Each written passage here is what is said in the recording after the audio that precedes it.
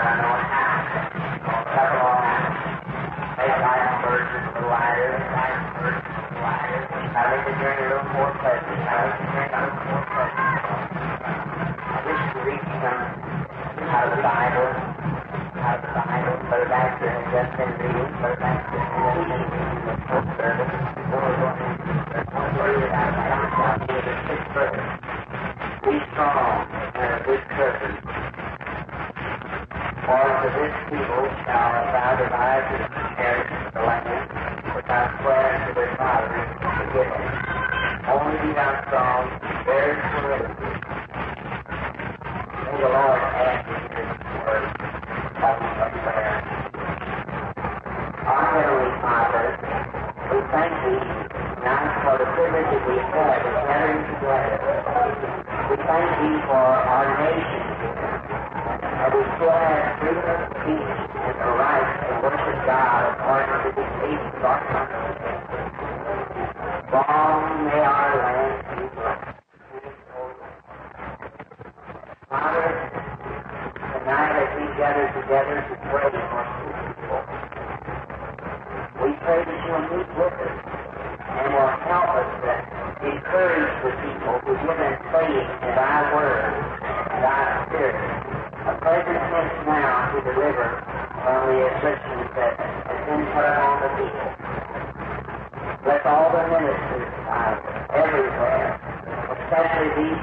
during the meeting.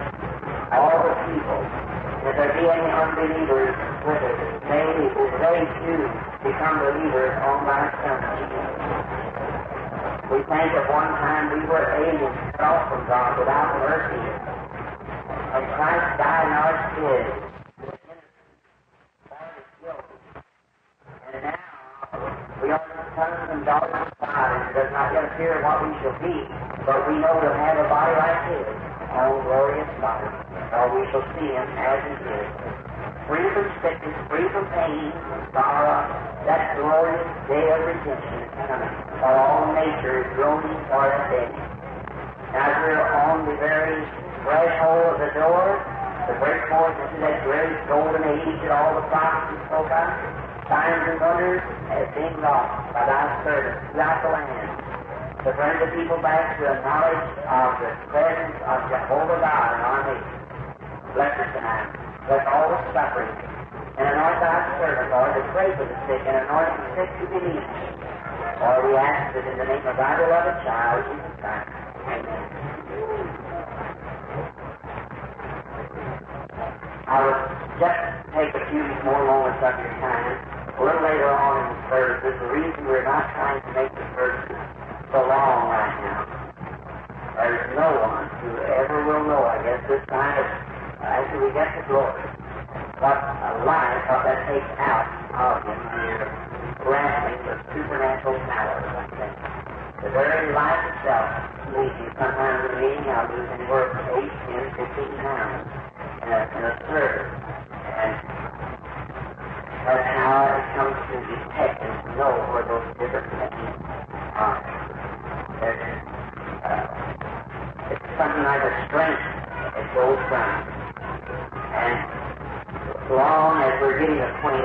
down towards the last of me, I just throw my whole soul right into it, and try to get everyone to saved all that I possibly can. While these services are going on, reading is necessary for anyone that come up to be prayed for. It's your faith in God that heals you, and you must have faith.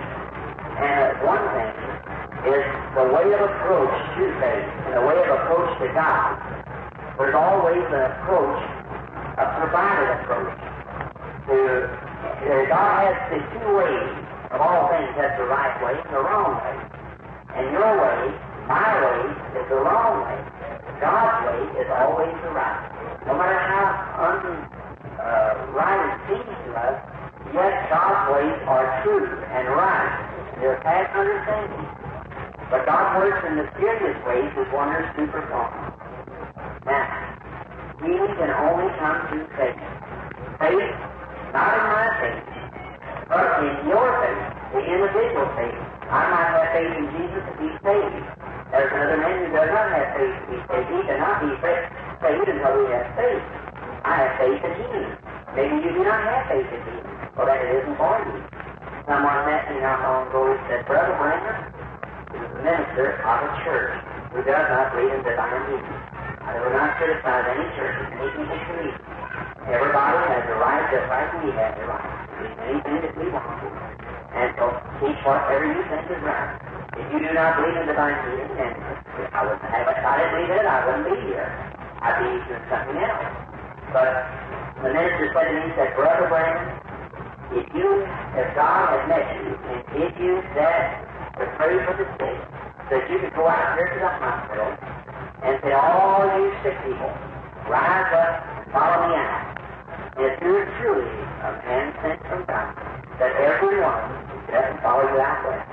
But I said, well, brother, was you called of God to preach the gospel of the saving grace of Christ? He said, I was.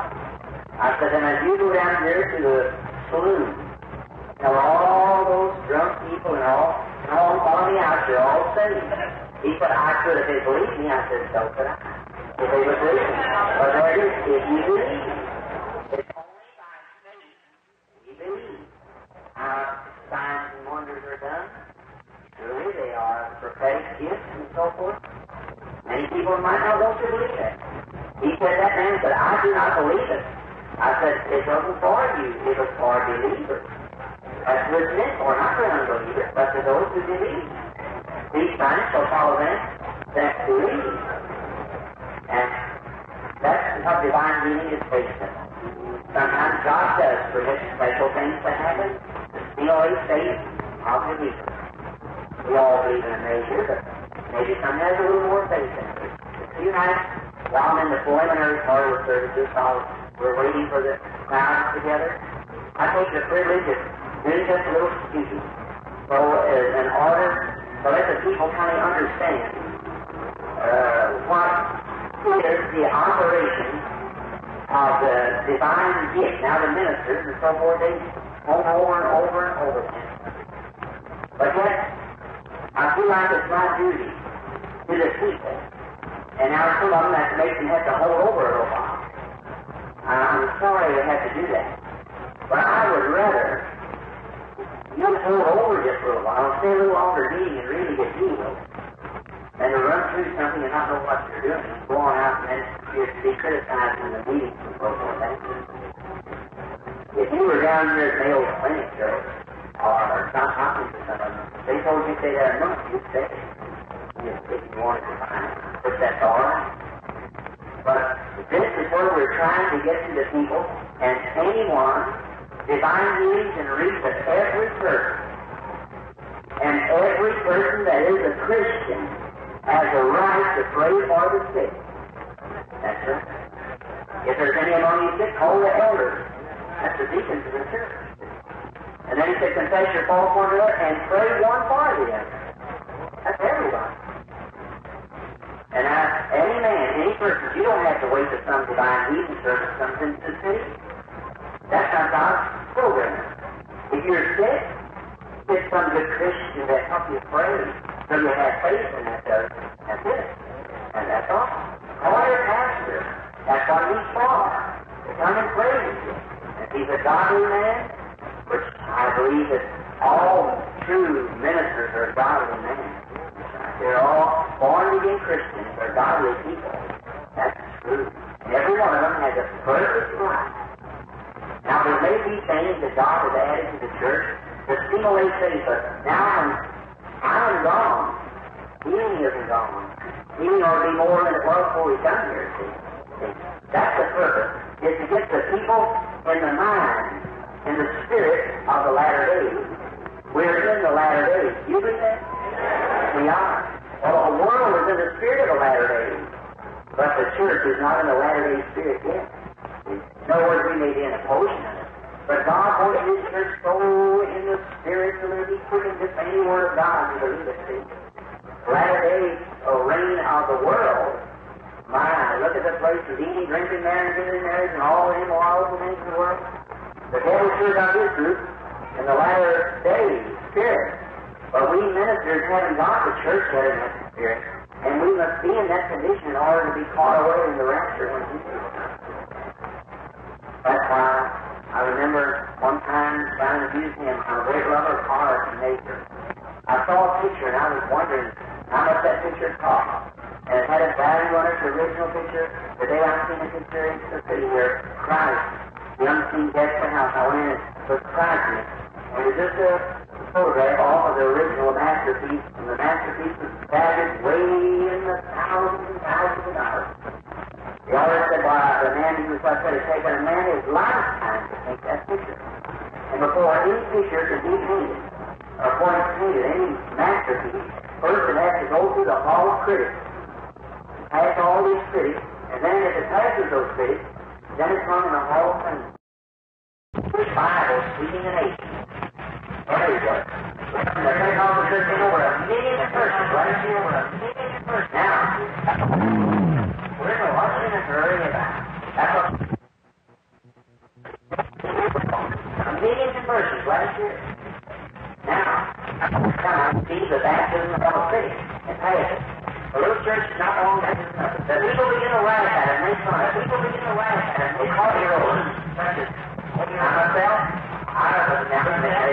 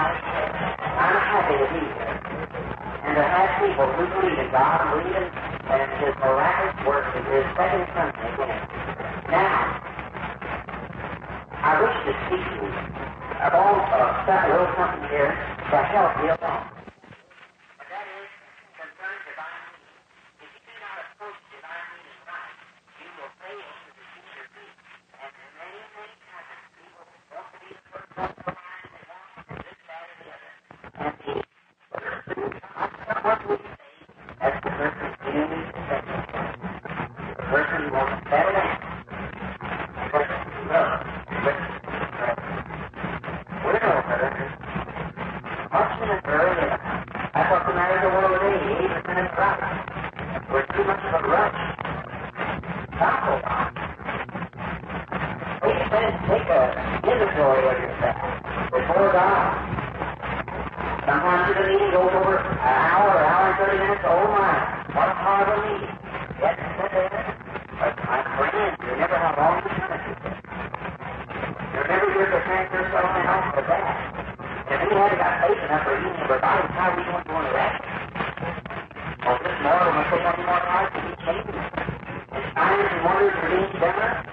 That the people get faith and believe in that. Enoch practice before tribulation, so the church goes first. Enoch the type of the church. And no one knew that as soon was gone, the tribulation was on. So that was going back. And remember, we have a, a rapture coming in also. Now, to approach divine the first thing, what is faith? What's it? A few days ago, I looking my I said, oh my, if you could have me long since I was a little old chubby handed boy, out in the street playing marbles. Well, here I am, coming in to be an old man. Just a few more turns. I have a voice, but in my turn back almost as far as I am. It seemed like it's been yesterday. How quick things. Gone. I think for many boys that once played with me, they're gone. And yet we're taught that we're ready to. How does it? God made us to die like this. God made us to live forever. Sin brought on death. So remember, sickness is, is the substance of death. A sin, sin is the first sin or sickness. Without sin, there is no sickness. So sickness, the first I want you to know is of the. Now, it's an old-fashioned thought I'm going to speak of here in a moment. But not some of you modern uh, people with modern ideas might differ with this, but I'm not basing my thoughts and teaching upon modern theories. I'm teaching upon the Word of God. And the Word calls these things spirit. When the deaf and dumb spirit went out of the he could speak and hear. Is that right? The doctor says that his nerves died in his ears. Well, he's dead. Like this man I lay out of that one, dead. What does that? Well, the nerves never died all over him. Well, the nerves just died in his ears. Or maybe dead. Well, what makes that deafness? Why did the nerve die? Now, a doctor can only work upon what he can see or feel. That's the only thing that a doctor can look through a glass, or he can do a fluoroscope, an x-ray picture, or he can feel it with his hands, feel the growth or whatever it is. Now that's what he has to work on. But when it comes to the nerve, or the end of that nerve, he knows the nerve is dead, but what killed? There's the next. Now I say this upon the authority of the Word of God, it was a spirit which cannot be seen. Now, here it is. Just closely now. And if you people for a night or two will bear with me, and then when other people come in, you encourage them. And tell them how to believe. Now, watch closely. Now, hey, here's my hand. I'm going to put a transparent band around it, so like that. While my hand will begin to come dead, circulation shut off. All right, I can't use that hand later on. I go to a doctor, a doctor looks and you say, now, uh, Mr. Branham, the only thing that I know is the nerves in your hand is dead. Well, I say, doctor, what killed it? Well, he said, I don't see no reason at all. I, I look and it, uh, just goes up so far, it's dead. I don't know, something happened there. Well, he, if he couldn't see it or feel it and he'd cut in there, I don't see no reason. But the nerves just don't operate beyond this line. They just died from there. Now, but the hand's dead. Now what happened? Now, I'm going to take that like the ear of a person or the eye or whatever be in the part of the body. To my thought of this, and to I believe the Bible doctrine, Satan bound that. And there has no circulation. Now when I take this band off of here, now he might amputate the fingers and so forth. But here's the main, you have, before you can find the cure, you have to find the cause. But years to come. And we take, and we know that, that to remove that, now that hand wouldn't be well right now, but it would be different. And circulation will begin to circulate. It'll begin to hurt and burn and feel a little different. And after a while, few days, and it'll be all right. If you give nature a chance, it'll function correctly. Now, disease germs, that's just the power of Satan when it's bound a person.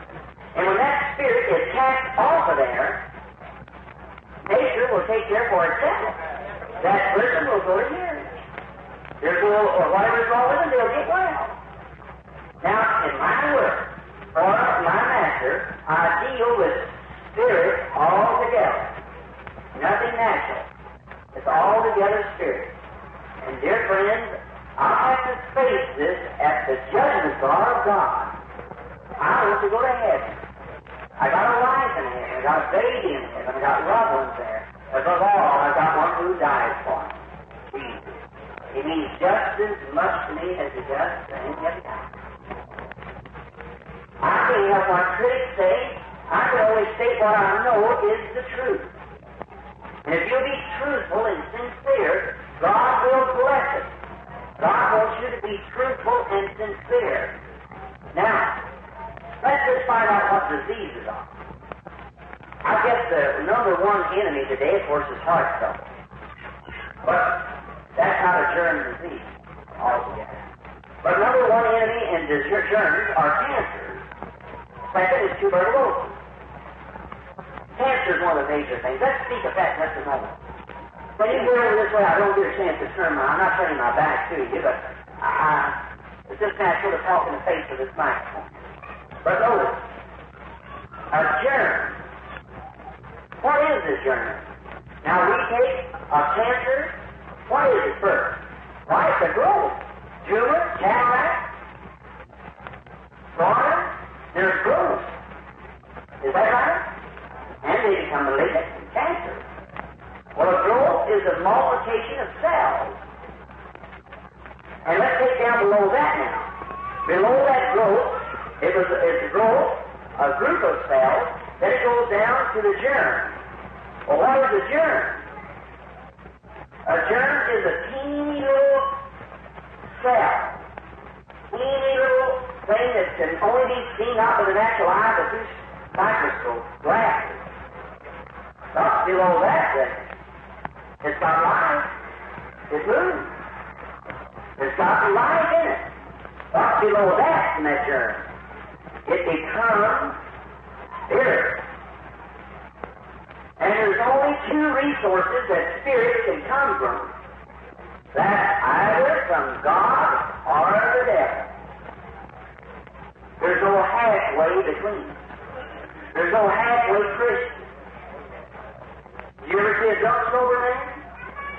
You ever see a black white bird? You never seen a sinner saint.